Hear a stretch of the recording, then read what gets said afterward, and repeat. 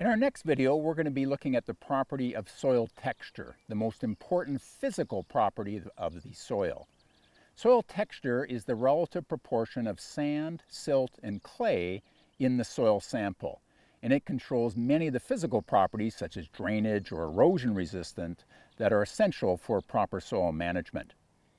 The three soil separates, sand, silt, and clay, have very different feels when we use our hands. So a sand, for example, is obviously gritty, a grittiness. Silk, uh, or silt, is very smooth or silky. Whereas clay has electrically charged surfaces and is very sticky when moist. So the three materials feel very differently in their pure form, but in soils, what we get are combinations of sand, silt, and clay. So a combination of 33% of each we would call a loam. When we're in the field, we use what's called a textural triangle, which has 13 different particle size classes in it, or textural classes. And in the field, we use our hands to place the soil sample into one of those 13 classes. We do this using three different tests, the ball test, the ribbon test, and the field test. Some people as well, instead of a ribbon test, use a wire test, but we're going to use the ribbon test today. And basically, the way to think about all of these is that clay gives stickiness to a sample. So the higher the sample is in clay, the stickier it is and the more cohesive it is. So a sample which is 100% sand will have no cohesion and will fall apart very easily. So that's really what underlies a lot of the tests we're going to be looking at today. Now the first test is the ball test. And what I've done is taken a sample from each of our three horizons, the A, B, and C, and put them up here, and I'll be accessing them for the test. So I'll begin with the C horizon. Again, remember lots of calcium carbon in it, that lighter color. I break the sample up into smaller parts, and then I add moisture to it. I don't want to saturate it, but I want to make it to see if I can form a ball.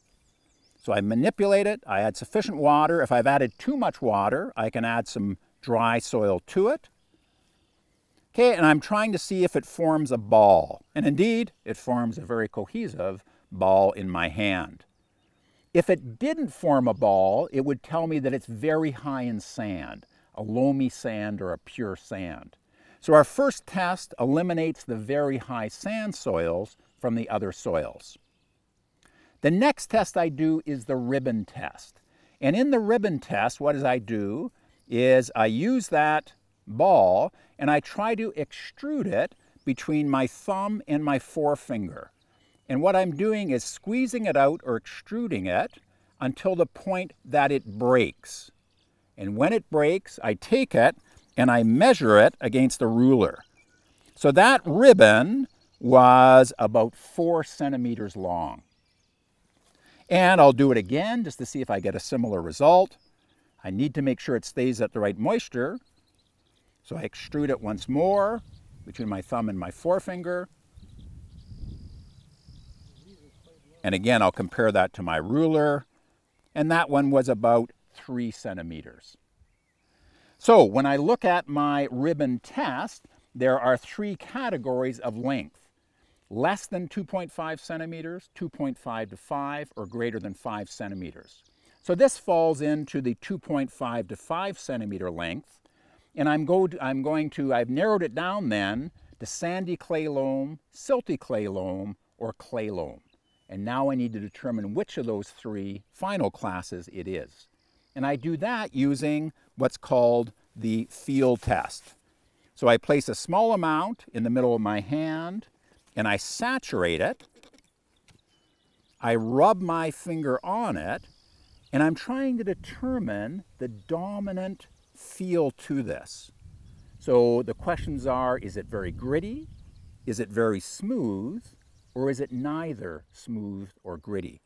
And when I feel this, it has a considerable amount of grit or sand in it, so I'm going to say that it's a very gritty material.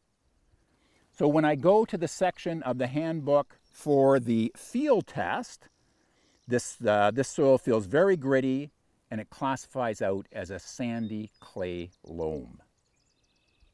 So I'm going to repeat that now for my other samples. You don't want to wear your good clothing out in the field when you're doing soils research. So now I'm taking a sample of that B horizon. I break it up. Again, I want to remove any stones from it. So I break up that horizon, removing any stones. I add my moisture to do the ball test again.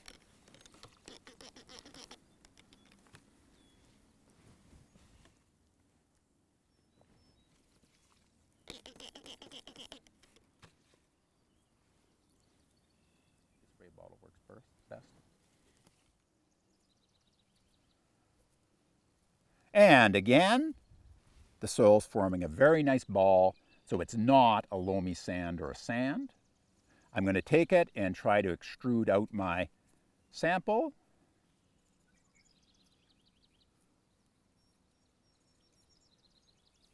So it's a longer ribbon this time. It's breaking about now. When I measure the length, it's about six centimeters long. So I'll do that again just to confirm that measurement. And it's very important we have the right amount of soil so we don't run out of soil when we're extruding it. So I'm extruding it again. Nice long ribbon.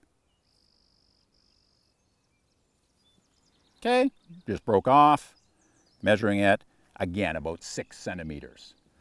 So I'm now in a category of five centimeters or above, and that takes me to the column that includes sandy clay, silty clay, and clay.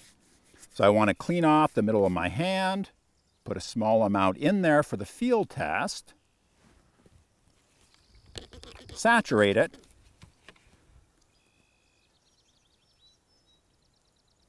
and feel, remember I'm feeling for, is it gritty, is it smooth, or is it neither gritty or smooth? And once again, I'm feeling lots of grit in here. So I'm going to say it's very gritty, and that would be a sandy clay. So we'll turn then to our final horizon, the A horizon. The A horizon has lots of roots in it, and we need to make sure we pull those roots out before we start.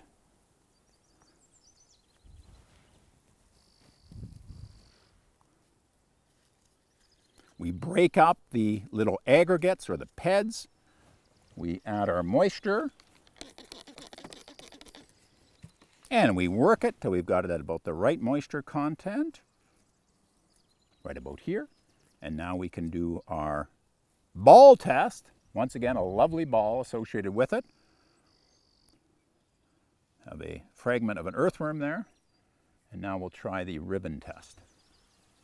So again, I'm extruding it between the thumb and the forefinger till the point that it breaks. Then I'm measuring that piece so that piece was three centimeters. And I'll try it again. And if I found there was a big difference between the two, then I would do it a number of times to make sure I'm getting a good average value. So again, I extrude it, breaks. Here's my piece, I measure it. It's about four centimeters. So I'm in that category of 2.5 to 5 centimeters, sandy clay loam, silty clay loam, or clay loam. I take it for the final field test. I clean the legacy of the last test out of my palm, put it in the middle, add the water.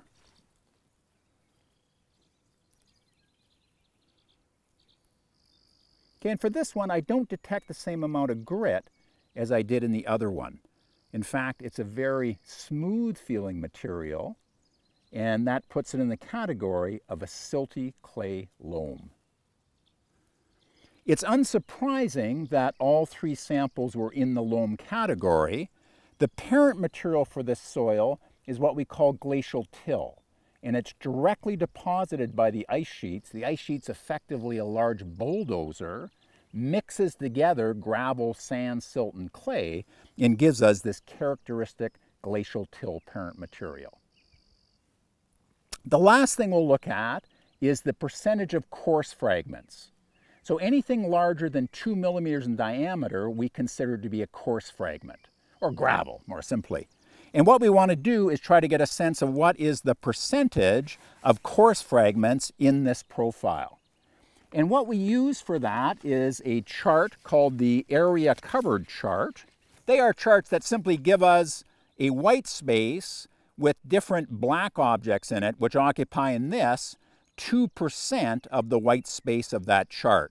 This chart is 20% coverage by the black spaces. And we use this to try to calibrate our estimation of coarse fragments or of other features in the soil. So by coarse fragments, you can see the larger gravel pieces associated with this. And for where I'm sitting, there are small gravel entities as well. But the percentage of them is relatively low. So if I compare it to my area covered chart, it would almost certainly fall into this 2% or slightly more chart. So I would say that for the C horizon, there's 2 to 5% coarse fragments. The B horizon, 2 to 5% coarse fragments.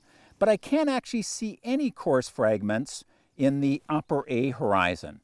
Those two big stones over there I took from the bottom and took up there.